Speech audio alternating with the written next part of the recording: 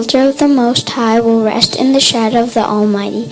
I will of the Lord, He is my refuge and my fortress, my God in whom I trust. Surely He will save you from the fowler's snare and from the deadly pestilence. He will cover you with His feathers, and under His wings you will find refuge.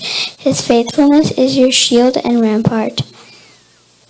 You will not fear the terror of night, nor the arrow that flies by day, nor the pestilence that stalks the darkness, nor the plague that destroys at midday. A thousand may fall at your side, ten thousand at your right hand, but it will not come near you. You will only observe with your eyes and see the punishment of the wicked. Psalms 91 verses 1 to 8.